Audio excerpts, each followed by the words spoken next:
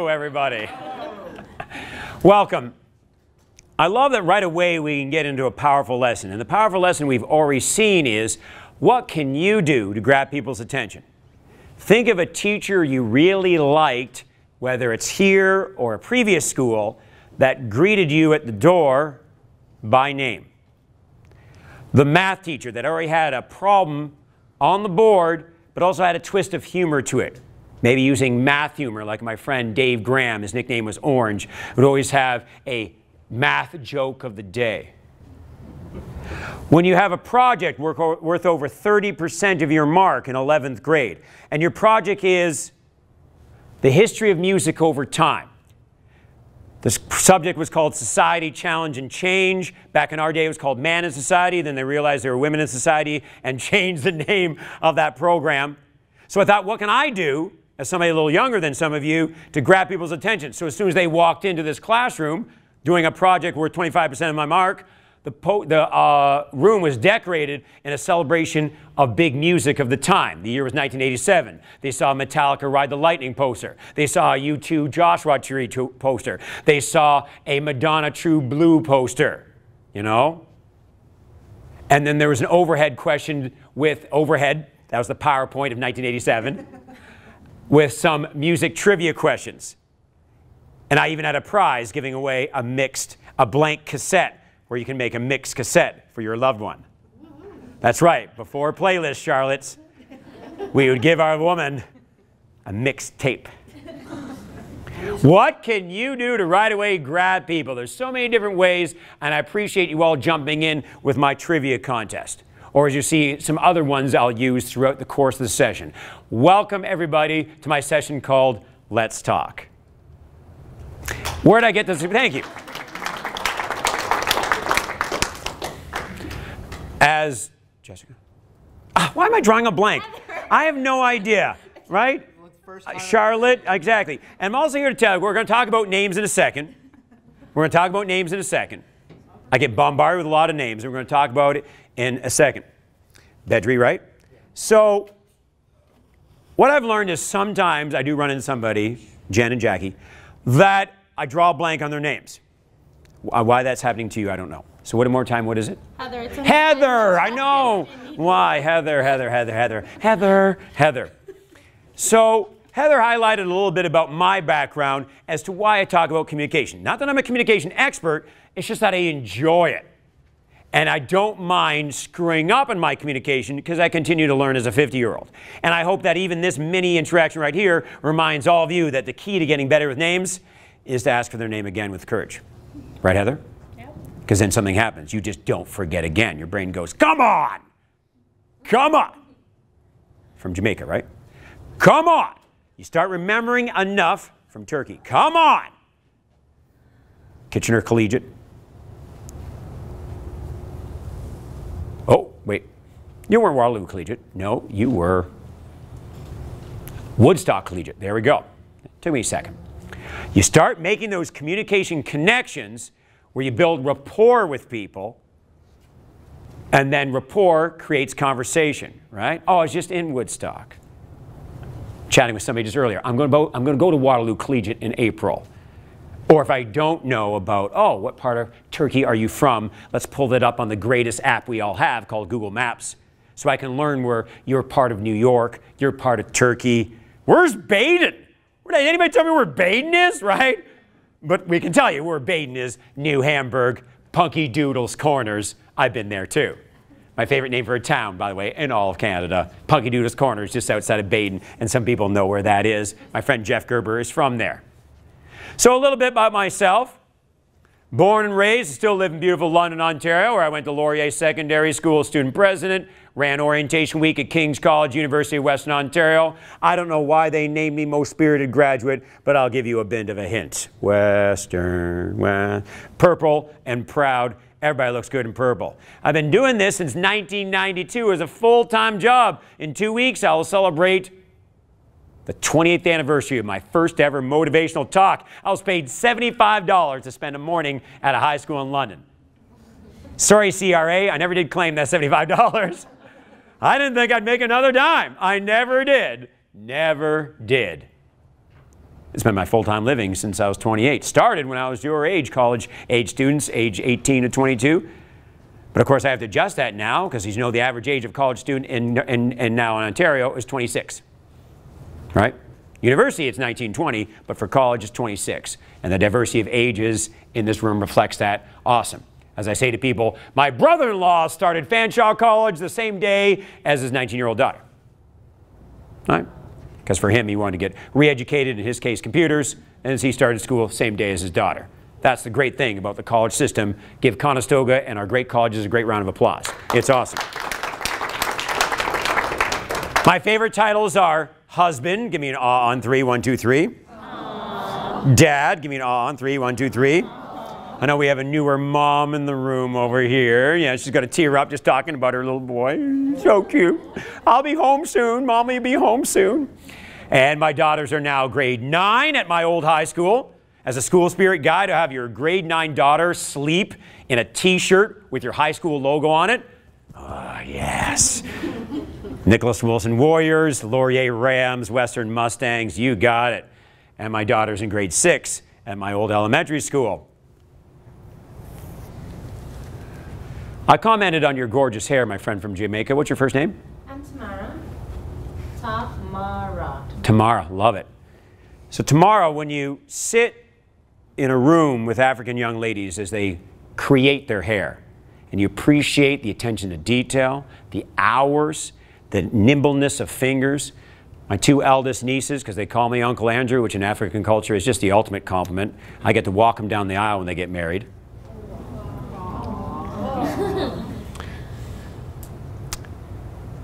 When you have three young ladies from Congo live with you for 10 months because the, their dad's house was just too small. But we, he had waited eight years to see them. Imagine not seeing your kids for eight years.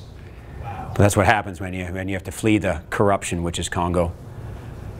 And the blessing is all mine. You know, they keep on calling me their Canadian angel. I said, no, no, you're the angels in my life. And this past weekend, they ran a 50th birthday party for me, doing all the decorations, doing the food. I love Congolese food so much.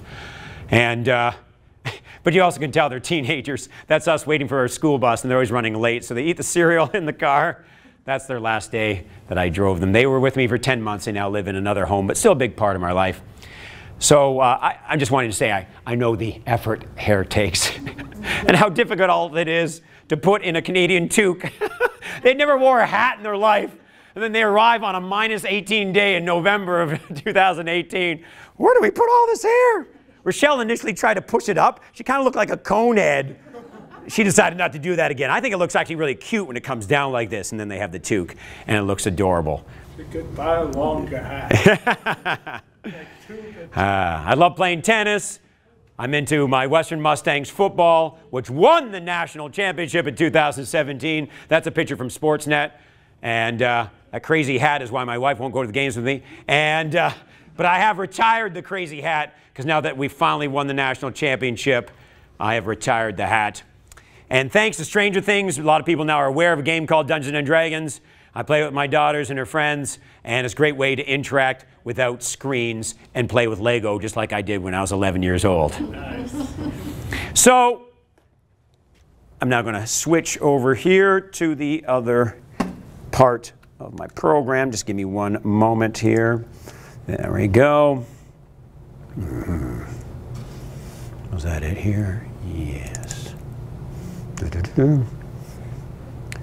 There we go. Aha. So I looked a little different when I started high school. Give me an ah on three, one, two, three. so there I am. I too was raised a good Catholic boy. That's First Communion, 1984. Sorry, um, Confirmation, grade 8. Yes, you got it. Communion was, of course, grade 2, grade 3. And confirmation. My sister doesn't like this picture. Why am I not in the picture? Nancy, you took the picture. Oh, yeah. Selfies were invented in 1983. And, uh, and there I am, my Dungeons and Dragons group, at the same time that Stranger Things was big, set 1984. My favorite sport in grade 9 was football. As you can tell in high school, I played football. Shut up. yeah, what were you, Andy? Starting left back? Left back in the dressing room? Shut it. To my friends not familiar with the sport of football, there's positions in football quarterback, running back, defensive back. Get it? I was left back in the dressing room. Uh, and now some friends not growing up with football or football is your soccer, like my Congolese nieces. Yes, got it.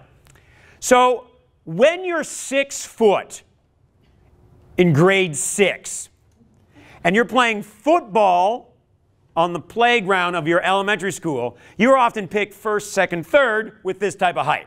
Because I could block passes, I could catch passes, get load the size of my legs. They call me Cheetah Boy, running all over the place. Okay, fine, I called myself Cheetah Boy, fine. I didn't like the nickname Skinny Ginger, okay? Shut it. I mean, I had the moves. I was always picked first. When it came to football in grade seven and grade eight, I was the man. It's hard to be the man when you're laughing at me. Stop it. by the way, to be the man, don't whine like that either. Stop it. Then came grade eight, right? Grade eight was my favorite year of school so far. My first year on student council, vice president of my elementary school. I won the election because nobody ran against me. Second year on track and field. Why? Because when you're six foot in grade eight doing the hurdles was completely hilarious. I could walk and go over hurdles at the same time. And I was playing football every day with my buddies because my favorite team, the Los Angeles Raiders, then Oakland Raiders, and as of two weeks ago, the Las Vegas Raiders, were my favorite team. They had won the Super Bowl that year. They've not won it since or even been good for like 50, 20 years. Grade 8 was awesome. And then we got the tour, the tour of our high school. Laurier Secondary School there in London, home of the Rams. And they talked about getting involved. And as I stood there as a wide eyed April grade 8 kid, remember when you got your high school tour? And I just nod along. When they talk about getting involved, I'm going to get involved. I'm definitely going to get involved in student council. All being involved in student council in grade eight had me sitting beside people like Matt and Greg, because these guys were cool, right? They talked to girls on the phone, right? They could dance. They knew about Prince and Michael Jackson, right? They, they were cool. But I was also sitting beside Don, Sherry, Pam. Like, it was a great way to meet people. I'm definitely going to do student council in high school. I'm definitely going to do track and field. What I love about track and field was that guys, girls in all five grades back in those days, we had grade 13, could be on the team at the same time. Basketball doesn't have that. Hockey doesn't have that. Only in track and field can you be a grade 9 boy and get on the bus and sit beside a grade 12 girl. Definitely going to do track and field in high school. And besides, just for me, especially for me, there's no cuts in track and field. of course, I'm going to get involved in the classroom. But the big thing I want to get involved with, what sport, everybody? Football. So first day of high school, I get on my gym equipment, go try it for football. Whoa. Now I was this tall when I was in grade nine, but I was over 25 pounds lighter than I am today. Now some of you right now are looking at me going, um, Andy, there's not a whole lot of you going on right now, man. Your back pockets fight for space back there.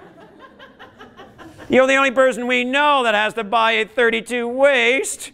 I have to get 32 because I got I got I need the length, and I have a serious belt action here going on.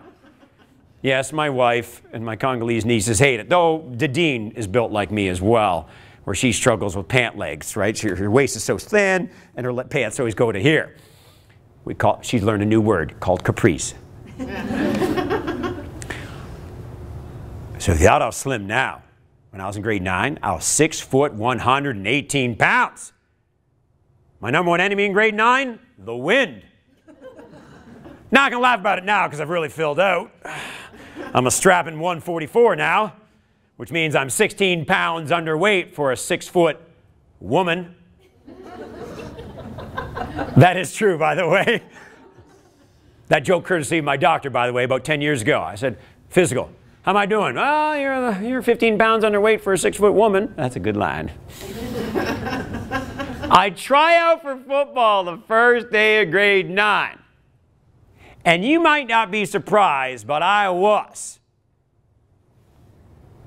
When it wrapped up and the coach called everybody together.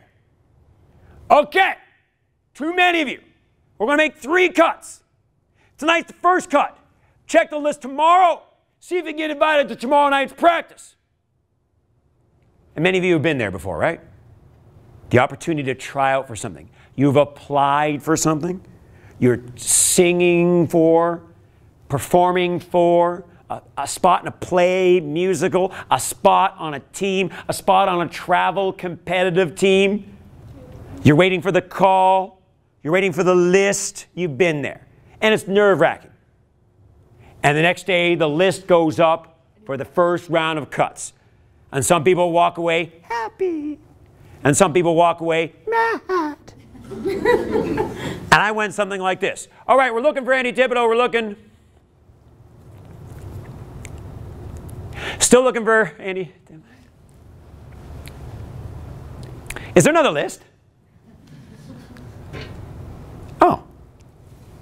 And it wasn't as if anybody said anything to me, right? We've all seen the stereotypical scene from an episode of Glee, High School the Musical, any movie set in high school. First movie I ever took my daughter to, Chipmunks, the Squeakquel. and if you've seen it, it's full of every high school stereotype. May I review for you, Heather? Here they go. Football players are dumb and they pick on people. Do you know that stereotype? Type? Cheerleaders are ditzy and they hang out with the football players because you're just so cute. And music drama kids, you must bound together there at Kingston, at, at Kitchener Collegiate, where you music and drama kids go in your beautiful theater that's 100 years old, old, where you understand Rodgers and Hammerstein. You understand the power of Wicked. You have Hamilton memorized, and these football players don't understand. They don't understand how powerful the song It's Quiet Uptown is. One of the most powerful songs ever. When I hear Remember Me from Coco, I think of my dad. When I see the end of Toy Story 3 and he's off to college, right? Reminding us all the power of music.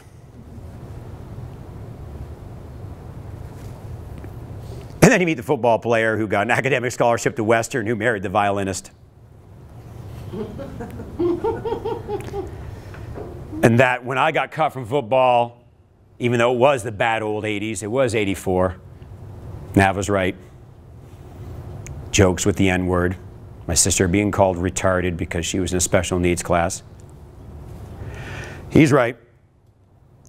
When you're 50, you look back at 1982, go, can you believe? I know. But I'm also here to tell you, people, people change, you know. There's lots of people who are in the 70s who thought certain things in 62. And then they look at my Congolese nieces when I took them to the football game. This one wonderful man in his 80s. As the game ended, it was an exciting game. He just said to them, Boy, did you guys ever pick a great game to see your first game ever? Did you have fun?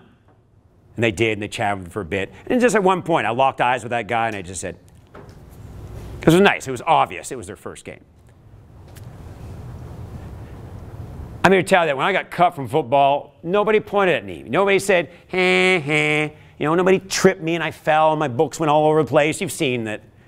My number one person making fun of me was me. When I got cut from football on the second day of high school, I was like, oh, what was I thinking? I thought I was good, but I'm skinny. Why'd I even bother?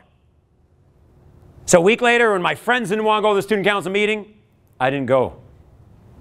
Student council vice president three months earlier. Three months later, because I felt stupid, like a failure, I didn't go to the meeting. Year later, didn't try out for football. But Andy, you could try out again, man. Michael Jordan was cut from the basketball team, but he played junior varsity, Andy, and then he tried out again in next year, because that's the great thing about high school. You have four or five years to try out again. You should have tried out again, to which I say to high school kids, yes, I wish I did.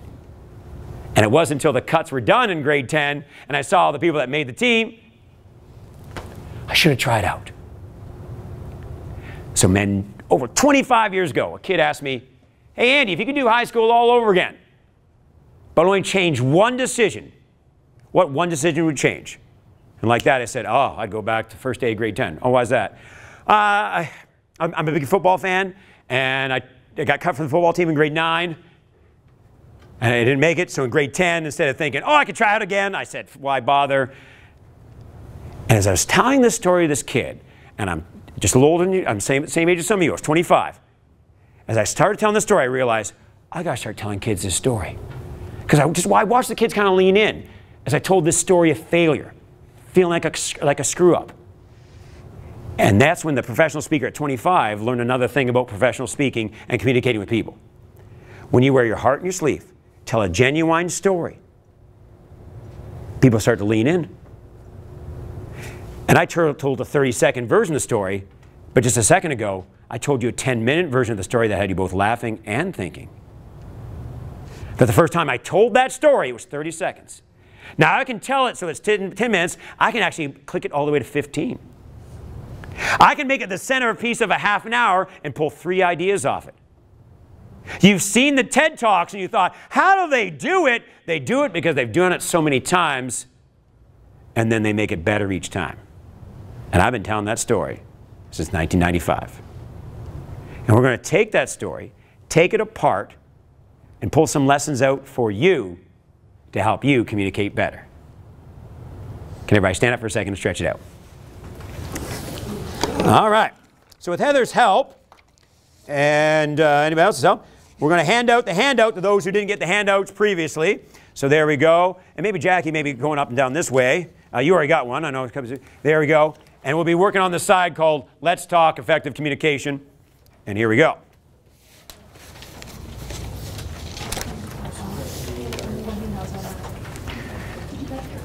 So sometimes communication. Take a second to hand that out. Everybody's got one? It's getting there. Great.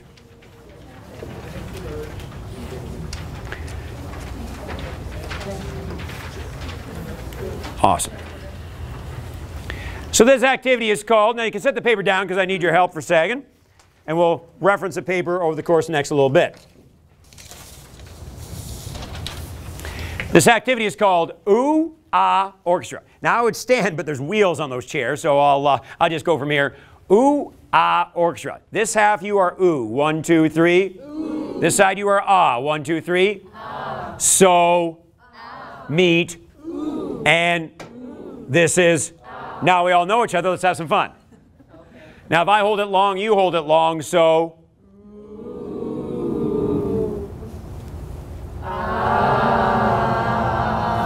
Nice. And if I'm quick, you're quick, so.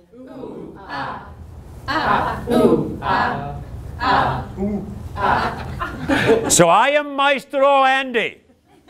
This is the Conestoga, sponsored by CSI Philharmonic. And this is orchestra. Here we go. Excuse me. Tap, tap, tap. Music kids love this. We're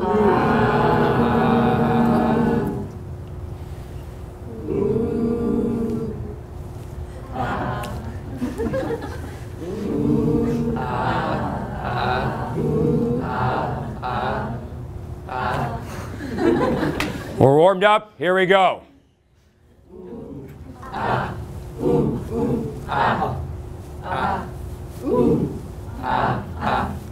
little faster. Well done.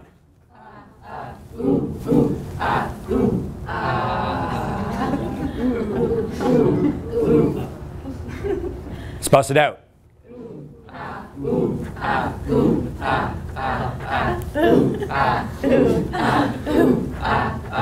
Let's do a classic beat from 1977. Buddy, you're a boy, make a big noise, screaming in the streets, gonna be a big man someday. You got mud on your face, big disgrace, waving your banner all over the place, singing, We will, we will rock you. We will, we will rock you. Well done. Give yourselves a round of applause. Have a seat. Well done. Excellent.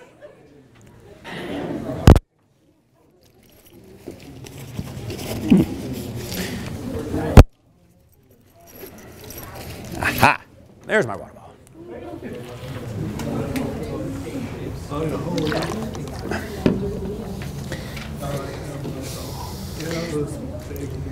You will see in a bit why I told that story the way I did and how that ties in.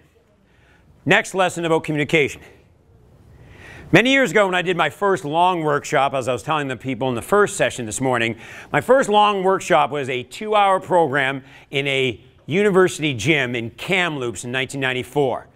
Back in those days, I traveled with a guy named Stu Saunders. We were Andy and Stu. And our mentor named Mark was in the audience. Mark, who we saw first day of grade nine as a movie. So this guy had a movie 12 years before this period that I'm interacting with him. He's out of Minnesota.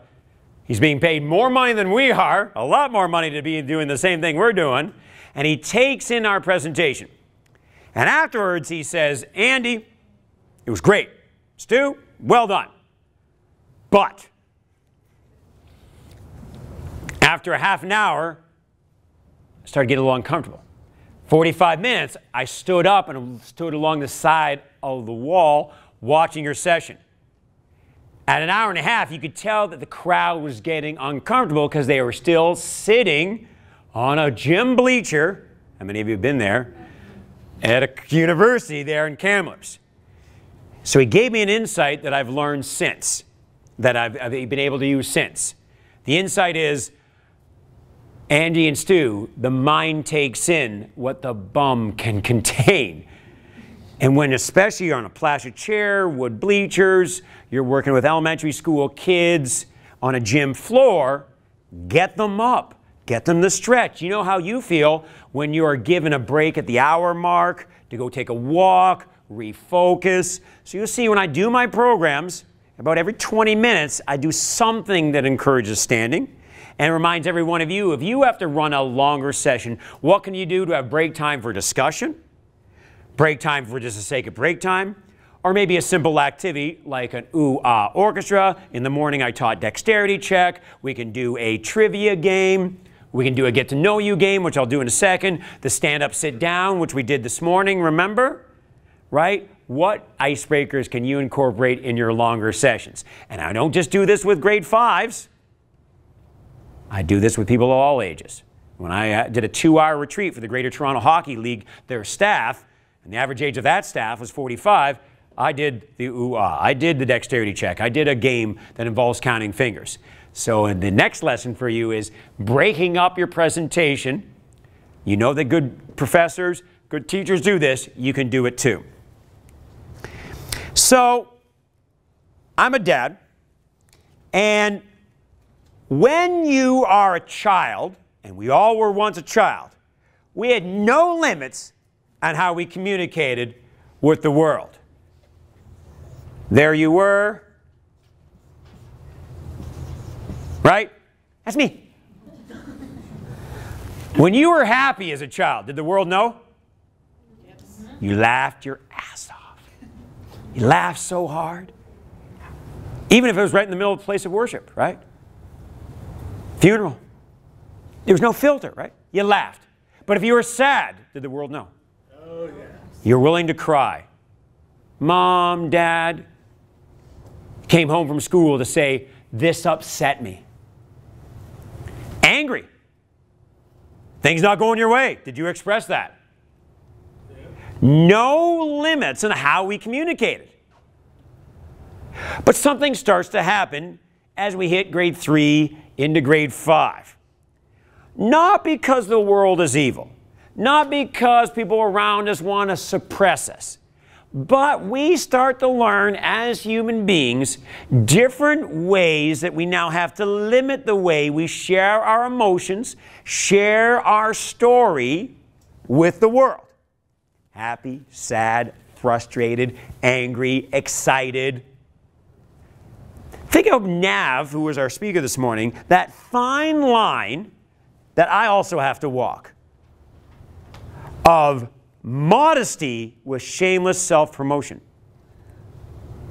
Correct? If he's going to make the money to support the charities that are important to him, plus sell vehicles and take thousands of kids to Raptors games, and that's not free, contrary to also his cultural belief of modesty, or my belief as a speaker that I want to share what I'm all about, at the same time promote it so I can get another gig next week. I understand his challenges, right? And it's a challenging thing as a communicator of any type that I'm passionate about something, but not in disrespect of what you're passionate about, or to come across as too over the top. But it's that word modesty. And in fact, it was that word bragging was one of the first ways a little bit of my communication got limited. I'm really excited I got a good mark on this test. And somebody says, stop bragging. And a little part of your brain goes, there's certain people I'll now tell about the test, mom, but maybe not the guy sitting beside me in math class who got 62. And just a little bit of how we communicate. Now, again, some of it's maturity, right? Maybe I was bragging. Maybe I was overdoing it. Maybe I have to learn. But when I say that, what sort of statements were said to you or you experienced that started to maybe just a little bit limit how you shared with the world? And I'll give you two examples to get, to get you thinking. One was don't brag. And growing up in the 70s, as a man, no matter what happens, even if you're sliding into home plate and you get the home run, but you've lost also half your leg, big boys don't what, everybody? You got it. Also, a famous song by The Cure from the 80s Boys Don't Cry. Or, Stop acting like such a baby. What other statements? Just did some, maybe limited the way you communicated. Any others that came to your? Well, for me, it was what my parents saying. Not like some people might just be being nice, or they might not actually be interested in what you're talking about. So your parents saying They- that people aren't interested, that, that, that they're, they're not interested. Okay. That they're just being nice and listening to just be nice. That they don't Okay. actually want to hear what I have to say. Got it. Yes. I see what you're saying. Right. So then now you're, you're thinking to yourself, are they just being nice or are they actually interested? That's a, that's a weird thing to play with in your brain. Well done, Cameron. Yes. Oh, I actually have a story. Um, back in high school, I actually got told by my guidance counselor, you can't go to college because you're not smart enough. mm-hmm, yeah. That person was a guidance counselor. Yep. How- His I name is heard- Mr. Radstake. I heard that, I'd be like, you need to find a new career. like, what guidance counselor So what I know. I'm gonna do is I'm gonna take my college diploma when I'm done and I'm gonna go back and say you said I couldn't do it. I just Yeah. did it. Yeah. You got it. In a high road sort of way, great lesson from this morning as well. That's why I love coming to these sessions. I enjoy these programs. Well done. Well done. Thanks for sharing. What else? Um, it's rude to ask for what you want. Right, right, right. Just, I'll just play rude to ask, but I don't know what you're saying, right? Can I have a second cookie, right? Can I have the job? You know, do you want to buy this? I'm not making this up. The key to sales is the close, right? The classic do you want fries with that is called upsell and it works. It works. Oh, you need some dessert, right? Montana's, Kelsey's, they come back. You want some dessert, right? Heck, like even asking for a piece of gum or like, can I have some? Yeah, can I have? Yes. Like there was a time when I was volunteering at Habitat for Humanity and like someone was donating something and it had a thing of like Orangina and then like trunk and asked if I could so that and get, they gave me the whole thing. We had a whole thing of Orangina. Because you had the courage to ask. which I, At the time, I called it Orange China, but yeah, yeah, oh, yeah, orange. Yeah, I know exactly what you're talking about. Hang on, yeah. Grow up. Grow up. Whoa, that's a big one. Grow up. Now, again, I'm not saying there's a part and an element of maturity to this, but what starts to happen is how we expressed ourselves got a little limited, right? And so that the me that was here and expressive now becomes maybe something a lot smaller. This, like I'm not even putting a limit on. This becomes a lot smaller. And then I watch shy seventh graders not run for a position on student council. Why? You've all heard it. I don't want to give a speech. I don't want to stand in front of my class. Or when they do give a talk, I'm talking to you today about the sun. The sun is big and yellow. And you watch somebody else go, I chose the sun today because I was always fascinated by astronomy. And you see the difference. The person that uses words like I and my and looks up with confidence, right? And that when we can reclaim what we used to have and share stories with confidence, be confident looking people in the eye, confident with pauses. Another common trait with bad communicators too fast, right? They're too fast. Get me off the stage. What I have to share is not interesting. What's exciting about the next few minutes, I like to think, is I want to show you how to reclaim what you already have. And while we're in such variance of communication skills in this room, because some of you out there have literally been working professionals for 10 years, 15 years, 30 years, some are parents and some are 19. We have a lot of variance in this room, but all of us deal with this in a bit. And as you can see, how I've been able to reclaim is share my story with enthusiasm, take what was initially 30 seconds, extend it to 10 minutes of truth with some humor. When you do that, you realize that in fact, what is the root challenge for all of us to truly share what we enjoy and what's important to us. What is that key English word? It's four letters and starts with an F, and it's not that word. What is that word that limits us to truly share who we are? And it starts with F, and it's fear. fear. And we can summarize our inability or not a lack of eagerness to share, not fear of our inability to speak English, but fear of what? What do we fear when we give our opinion in class, give our opinion amongst a circle of friends, give our opinion to family, share our story, the classic lull in the conversation after somebody just told a good one about their weekend, and you want to say, well, you know what happened to me on this weekend?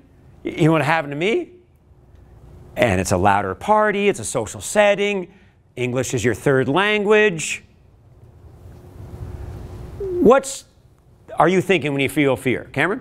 rejection. Whoa. That's the big one we'll come back to. Whether it's your story, your idea, your opinion. What's another thing you fear? Huh? Ju- judgment? Judgment, yes, judge or being judged. And of course, not positive judgment, but negative, right? Right? They're not going to enjoy my story. Let me, let me get through this. Being ignored. Ignored. Oh, even, what? oh. You know, what's worse than these two things? Being ignored in some ways, right? Not even being there.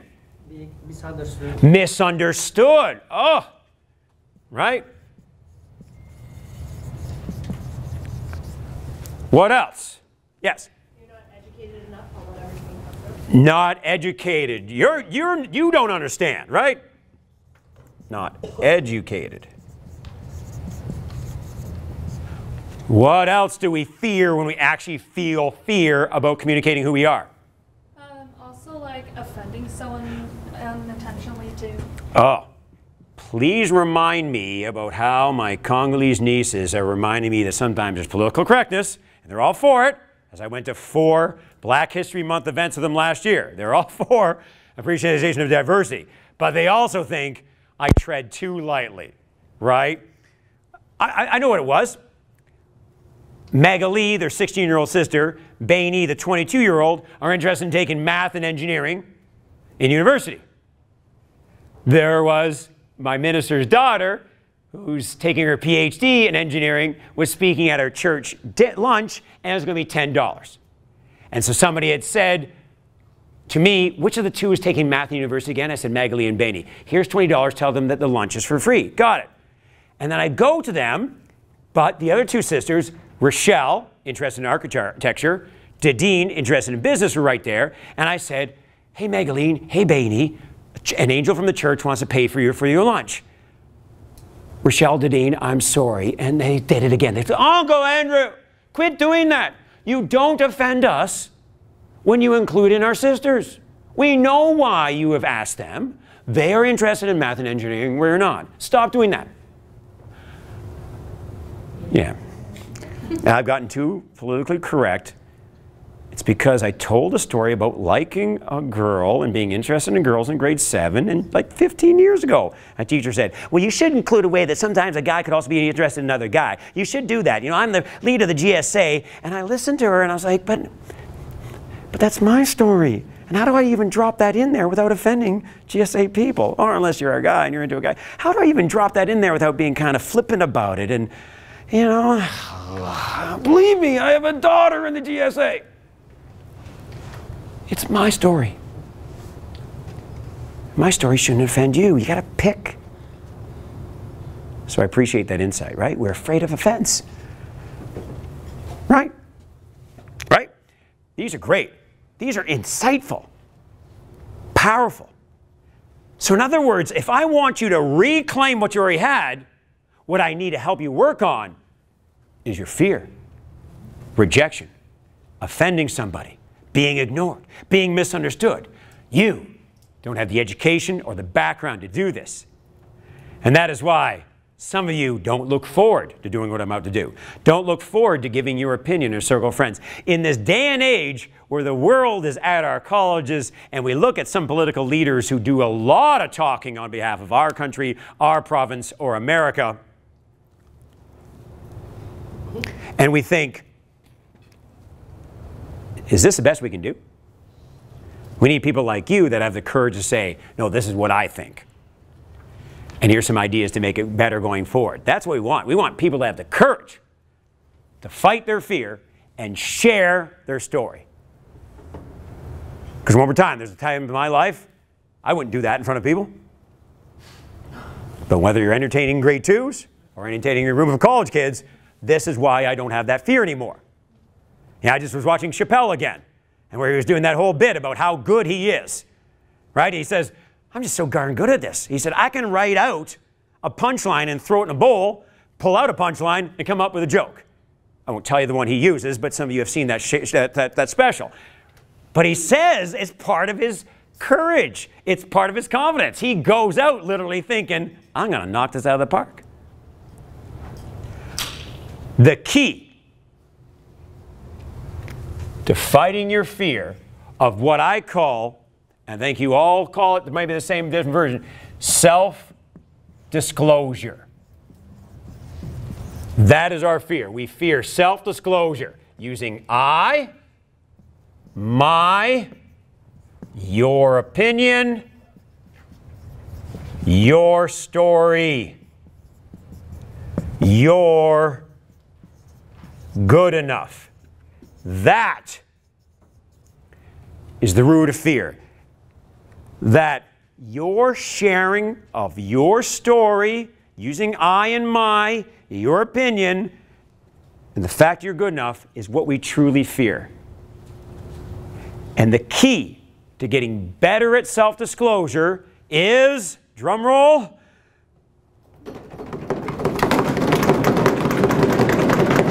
You may stop. More self disclosure.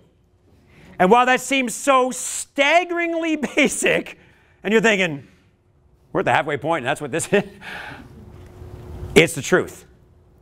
The key to getting better at self disclosure is doing more self disclosure. And my entire career changed in 1995 when a grade eight said, if you got to do high school all over again, what would you do differently if you could change one decision? I started talking about first day of high school, getting cut from football, saw how the kids got interested, thought, I'm going to start telling a story about failure. And holy cow, I've told the story of failure, getting cut from football so many times, and I get nods of acknowledgement and not sneers of rejection. What does self disclosure do for your presentations? Let me show you. It does three amazing rewards. The first, reaction in audience. So I open up on purpose with my presentation, telling you a bit about my story and trying out for football on the first day of grade nine. And think about it even culturally, where one third of this audience has little familiarity with the sport of Canadian American football, but I still told it anyhow because it's my story. Don't apologize for it. Nav's story is his story. I wasn't there in 1984, and neither were you. But I still enjoyed his presentation. So many lessons that you can all take from today. When I started sharing my story about getting cut from football, ties into my nieces, ties into Toy Story and music and Uptown. It's quiet uptown. How did you feel as I shared these stories? How did you feel as I shared those experiences? How do you share, feel as you saw some images of my life and I, on purpose, show you pictures of that young man battling rejection and self confidence. How did you feel as I told, told, that story? Give me some example. This is not just me fishing for compliments, but I'm looking for my point. Yes? I feel like sort of similar connection with how I was growing up, like not exactly a one-to-one sort of thing, but a lot of similar kind of stuff. So connection, uh, feeling similar, similar, right? So like thinking back on my childhood. Thinking back. What else? Yes. relate. Relate. What else? Inspiring. Inspiring. What else? Uh, There's so much honesty in your story that anyone would, you know, relate to. Honesty, and then powerfully back to the word relate. Wonderful. I think you try to make everyone understand somewhat about what the sport is, so you don't feel left out. Oh. You don't know anything about it. Right. I helped you understand, and thus don't feel left out.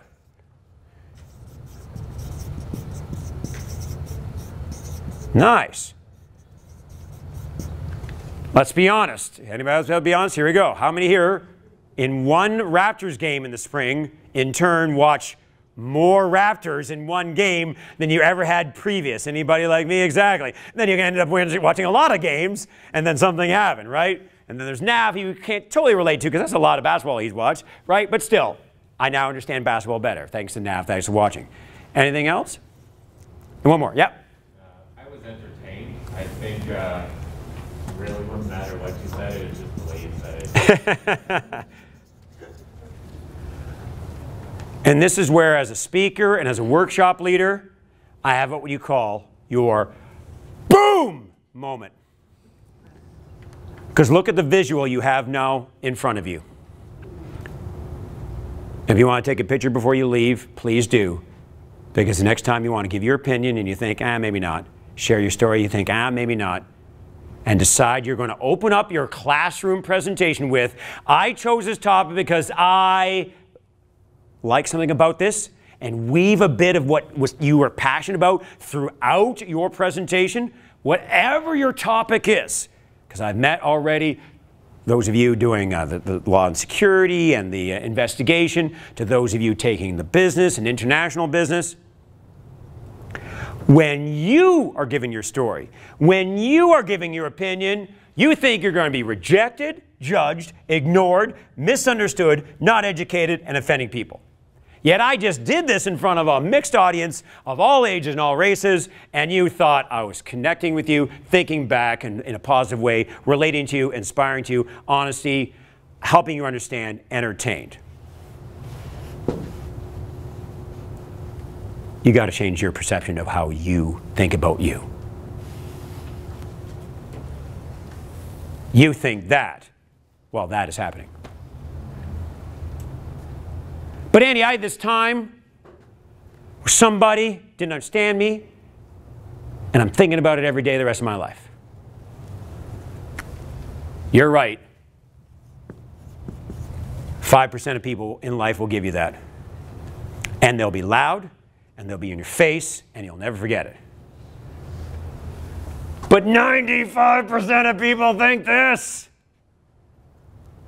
And they're often quiet and they nod appreciatively as you have the courage to be you. The first person to start a GSA. The first person to say, why don't we make February Black History Month? First person to say, let's have National Hijab Day. Boom, boom, boom. Right? Nav in 1995. 1984. Boom! Right?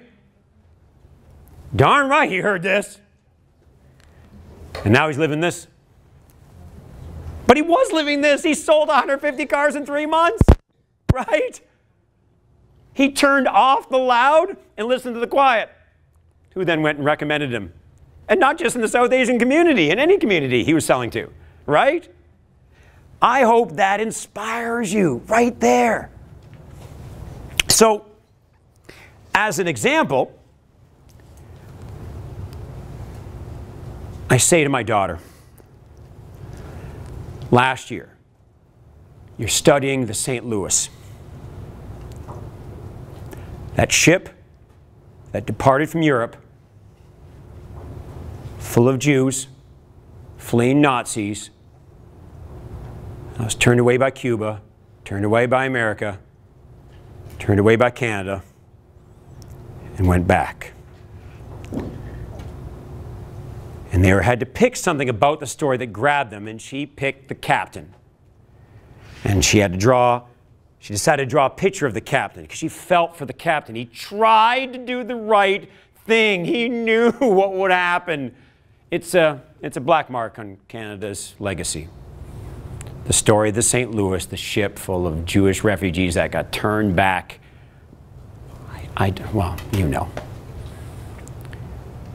And I said to my daughter, how you open your presentation in front of your grade 8 class is why you chose the captain, why you chose to draw him because she had eloquently said to me what it was about him that he was torn, like, like, he was German, but he knew this was wrong. The Holocaust was wrong. He was trying to help, and he was just like he wanted to scream from his talk along, Would you let me let these people off? You have no idea what's waiting for them back in Germany.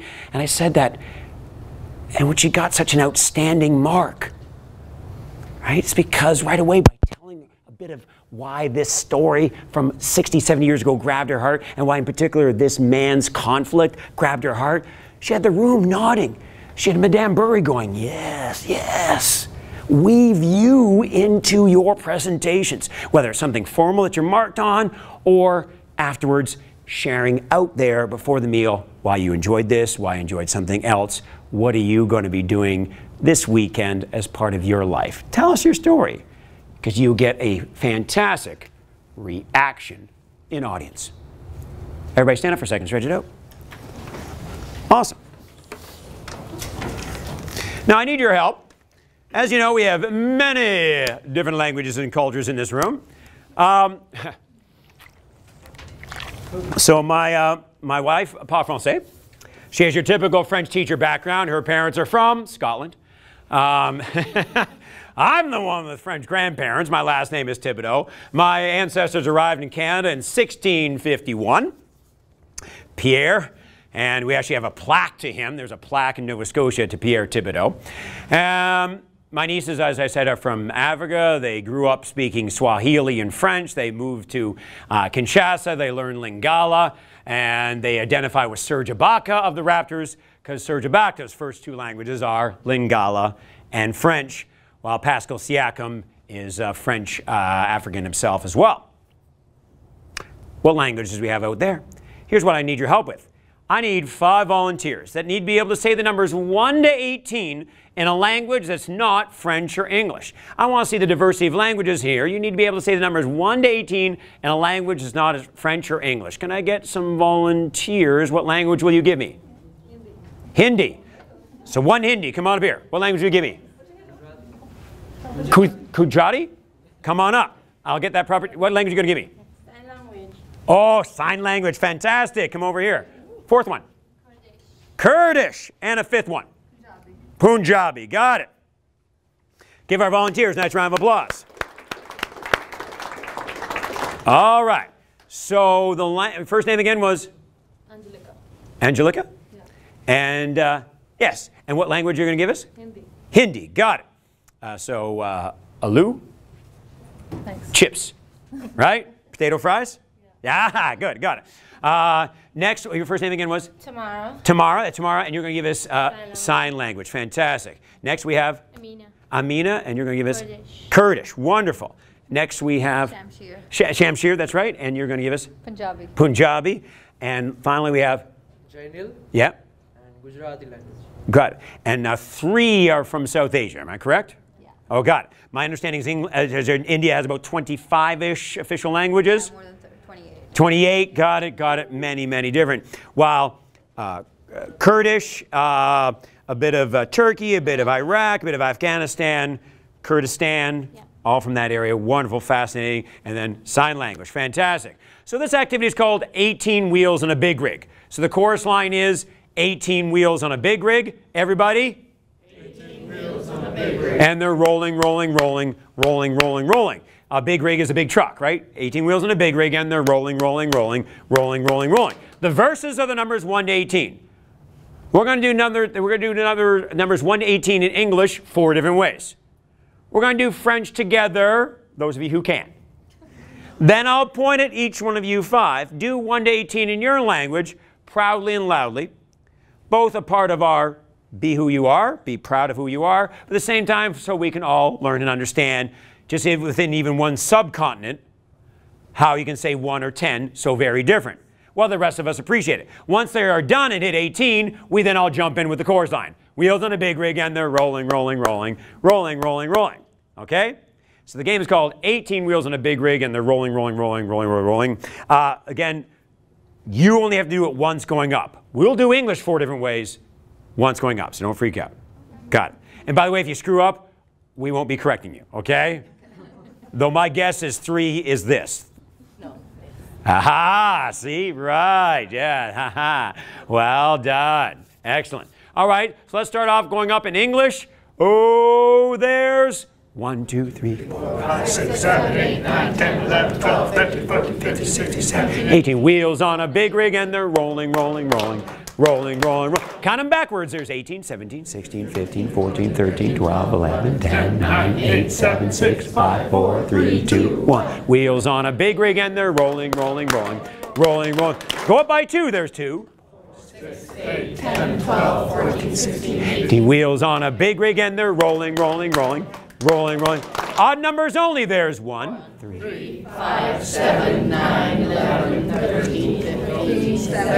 Wheels on a big rig and they're rolling, rolling, rolling, rolling.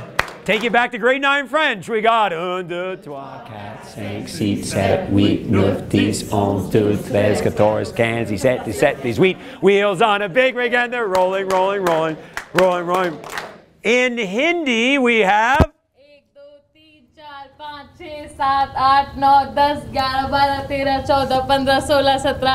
Wheels on a big rig and they're in sign language we have 11, 12, 13, 14, 15, 16, 17, 18. Wheels on a big rig and they're in Kurdish we have سه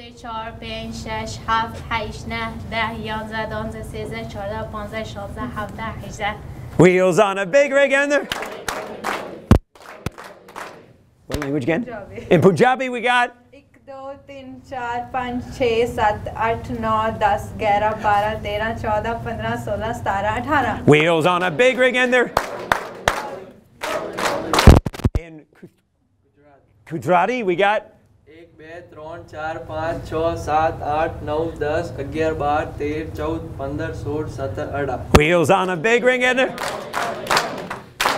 in Roman numerals, got I, I, I, I, I, I, I, V, V, V, I, V, I, I, I, X, X, X, I, X, X, X, I, X, I, V, X, V, X, V, I, X, V, I, I, X, V, I, I, I, wheels on a big rig and they're The world is at Conestoga College. Give our volunteers a nice round of applause.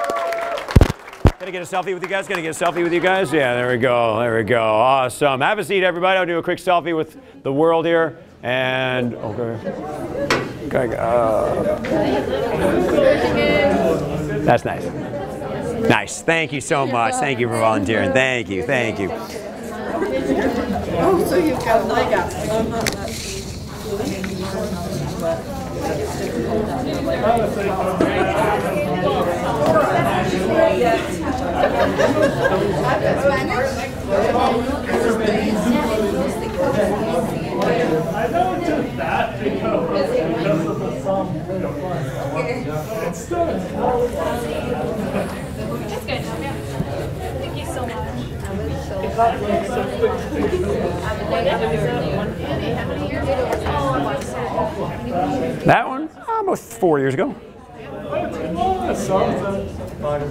Welcome back, everybody. There's three great rewards, including more of you in your talk, more self disclosure, more I and my, weaving it into who you are as a person. First, reaction and audience. When your audience feels they can relate and that you're inspiring and that your honesty helps open their doors to their honesty, you're well on your way. That key word there, relate, is the key to any good talk in any sort of way. The second reward of including more self disclosure comes from this very quick story. I'm walking to Mr. Friday's grade 9 geography class. And I said to the guys, Come on, man, hurry up. I want to get to geography class. And one of my buddies, Kay, says, Oh, I hate geography. Oh, and just without even thinking, I said, Oh, man, I love geography. Come on, let's get going. And he seemed surprised. You like geography? Yeah. Oh, man. Oh, uh, geography's so boring. And that's where you have those moments in life, right? Somebody you like has a very different opinion on something that you like. And you now cover that up, restrict who you are, or you, as a 14 year old in this case, keep going with it. Well, I don't know. I really like geography. I think Mr. Friday is a good teacher. What? Is it weird? I don't like Mr. Friday at all, my buddy said. Oh, I, I, I like him. Have you ever encountered that where somebody that you like doesn't really like somebody that you in turn really like? Whether it's a type of music, a teacher, a boss. Oh, you don't like? Oh, oh yeah, they did this. Well, I don't know. I see it from a different opinion, right?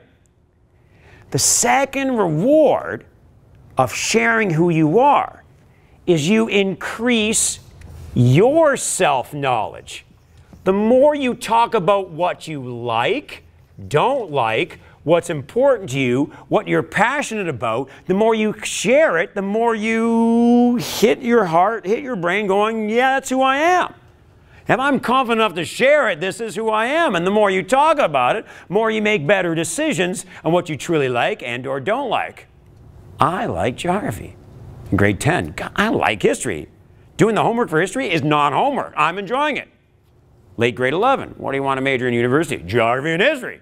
I will now take grade 12 and 13 courses that will point me in my direction. The more I share what I like, the more I get pointed in a direction to a lifestyle and a career and a life of what I like. And some of you have been there. Maybe you've been there personally. You restricted sharing what you like, made some choices to keep other people happy, have gained in confidence and stop, whoa, whoa, time out. I'm going to go in a different direction because this is what I truly want to do. Right? Share. And I'm not saying we all get that dream job getting to be the artist or motivational speaker. Being an artist or motivational speaker might complement what you do. I mentioned in this morning that my father in law was a computer engineer. But complemented that with getting the training and the leadership training to run monthly motivational leadership sessions, running team building sessions. So he had he was both a motivational speaker within his company and a computer programmer, but also a singer songwriter and would share that with his church. So there's other ways you can share your passion and who you are rather than strictly getting a nine to five type of career with it. The more you share who you are, you increase your self knowledge. I must be able to tell you who I am before I know who I am. I must be able to tell you who I am before I know who I am. And then something happens. You make decisions that are best for you. There's nothing wrong with being flexible. I saw my second favorite band of all time last summer. The band's called Iron Maiden. And I read somewhere, and it's a good point, Iron Maiden is the world's most popular band that nobody knows a lot of their songs. They are literally the world's most popular band without a single radio hit. Even Black Sabbath says Paranoid, and even 50 year olds know Hotline Bling by Drake and nothing else. But Iron Maiden has, if you, you either know everything about Iron Maiden or nothing. And then you find out they sold out the Rogers Center.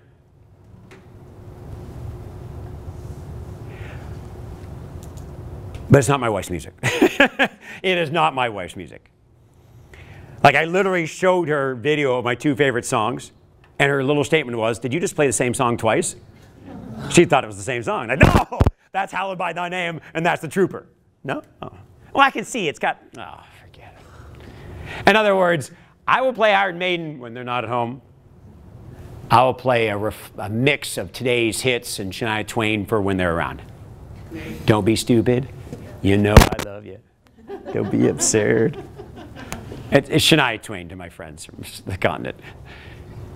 Be who you are at the same time. You have to accommodate. Finally, the third and maybe the most powerful reward of more self disclosure is a shift in attitude. Chappelle, three days ago, when I watched his 2017 special again, when he admitted to the crowd, before I came out, I thought I was going to be great. Imagine if you thought the same way every time you gave your opinion. You see too many people get up in front of anybody one on one. So, can I call you sometime? Right? One on one. So, do you want to buy this? Or in front of a classroom and they get up and they think, I'm not good enough. But when you include more self disclosure, you constantly challenge yourself to be who you are. You drop the nut and you start thinking, I'm good enough. I'm good enough. I'm good enough. That is an amazing shift in attitude. It changes how you write, it changes how you talk, it changes the type of people that gravitate towards you. If you're constantly beating yourself up inside, let alone verbally, and it's easy to do that. You know, some days, some days we have bad days. It's not easy when you do 65 to 70% of your work in Ontario schools and that business is down 95% in the last few months. Do you know what I'm talking about? Yeah. Nobody is hiring right now. There's two strikes next week. All right? This is a weird year for your friend, the motivational speakers who work in schools. Yet, do I swirl in self pity and negativity? Is that going to get me ahead? Did that help Nav in 84? No. So, even the motivational speaker needs to hear some motivation. I'm good enough. We'll get through this. We'll get through this. Look at my wife who walked the pickets on Tuesday as a French teacher. We'll get through this. So my time with you starts to end. And we talk about the power of self disclosure. I, my, your opinion, your story, you're good enough.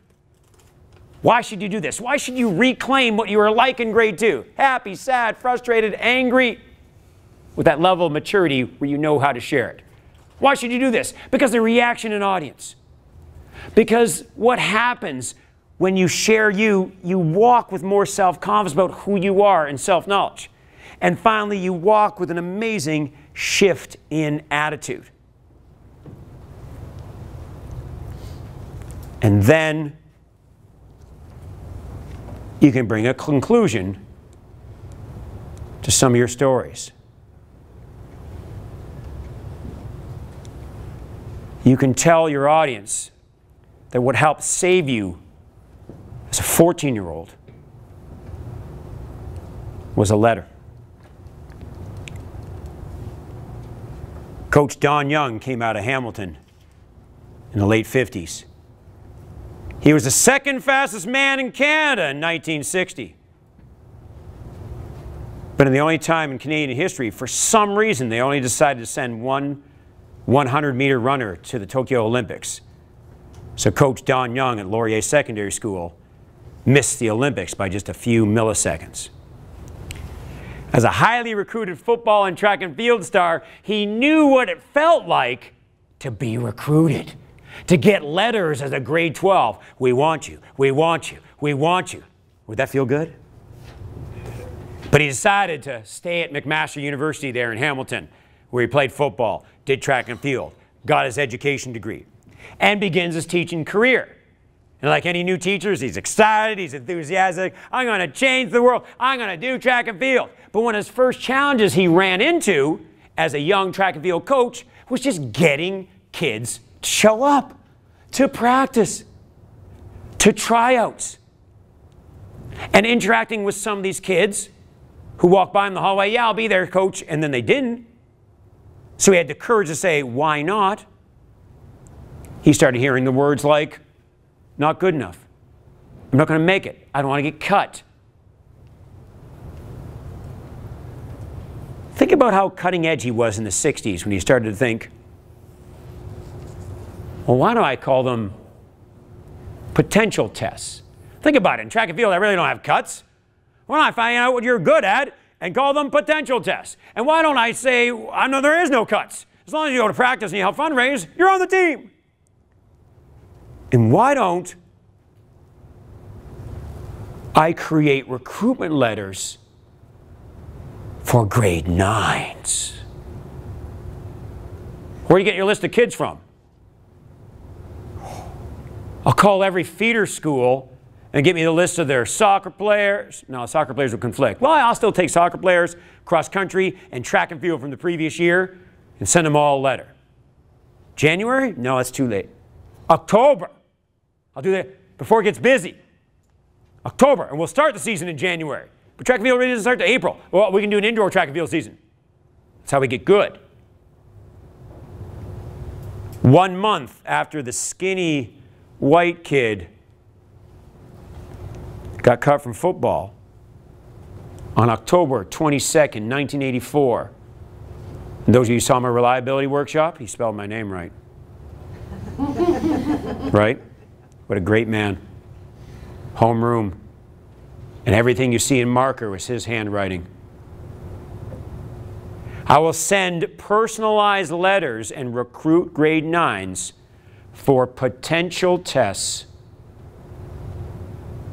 Clearly outlining when my potential test is, because I'm in grade nine. Signing it. Potential tests are held in the halls. Mr. Young had no idea how much I needed that letter the second month of grade nine. A few weeks after getting cut from football, a few weeks after not having the courage to join student council.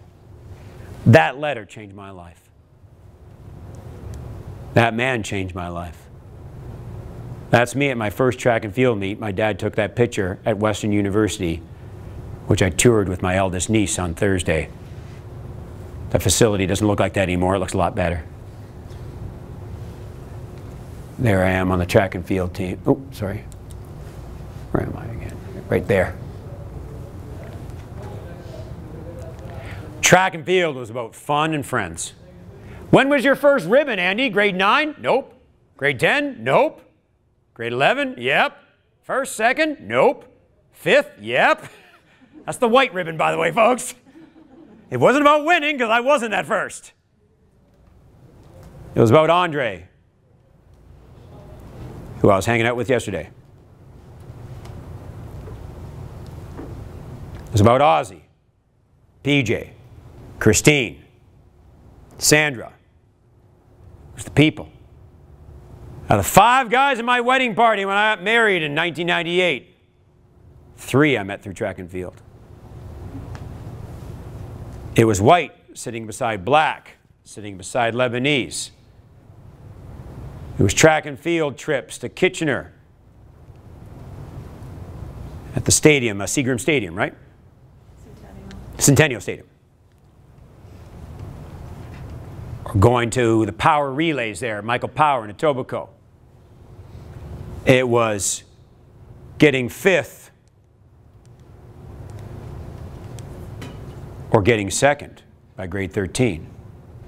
Five team titles.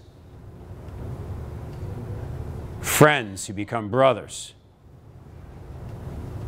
Lining up now in the front with confidence, but still being jokers as both PJ and Steve stuffed their pants, those goofy guys. Still laugh about that to this day. Three socks, man. They put three socks in there. What idiots. now you can't look. Sorry, I know.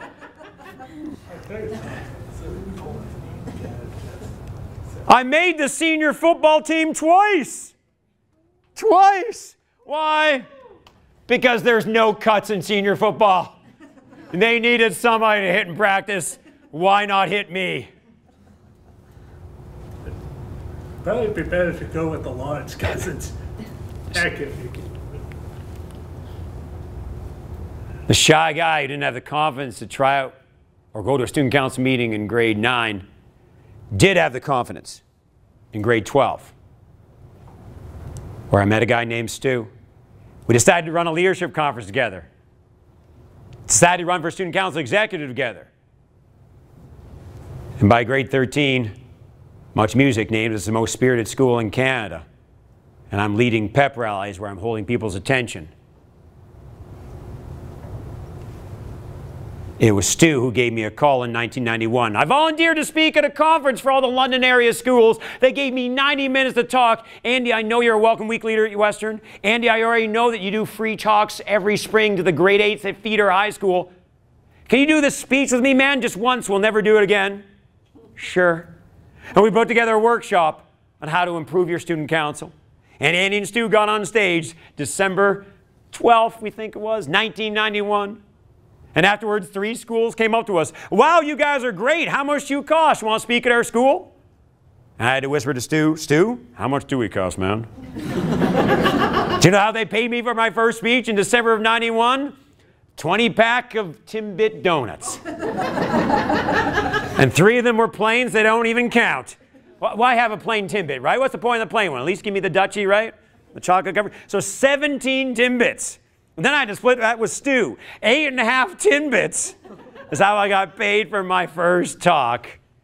And 28 years later, after that first paid talk in 1992, I'm still going. Are you ready for this, folks? I wouldn't be here today if it weren't for some key steps along the way, like the letter, like the encouragement of my former student council advisor, like Stu, but through it all, I give you my story. Go share yours. The reaction in the audience, your increased self knowledge, and the massive shift in attitude will change everything for you. Thank you so much for giving up your time. Thank you. My pleasure. Thank you so much. Okay, so once again, let's give a big thank you for Andy for coming here and talking to us. Thank you. Great. So now we're gonna head back to the blue room. We're gonna have a quick short break and then we're gonna stay there for the big main session at 2:45. Okay?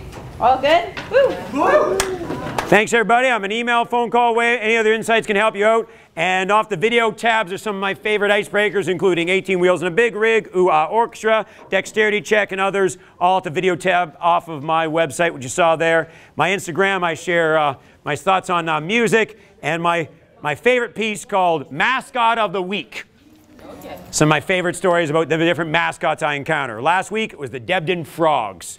Yes, folks, it's because it was a French community, but just like Nav, they decided, you know what, they're going to make call French people frogs, we're going to embrace it, and they made their mascot the frogs. Thanks, everybody, for being awesome. That was great.